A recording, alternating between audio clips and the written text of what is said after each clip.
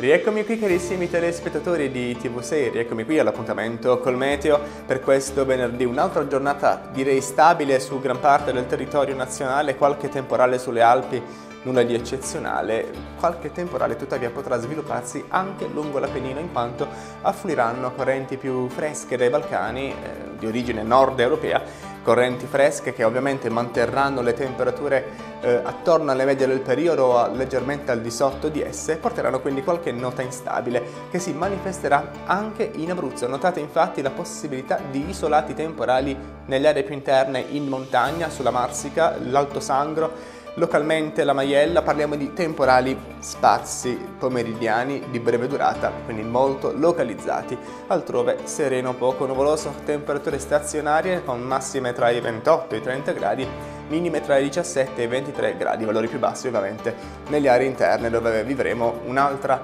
notte direi molto molto fresca. Con questo concluso ci risentiamo nel prossimo appuntamento.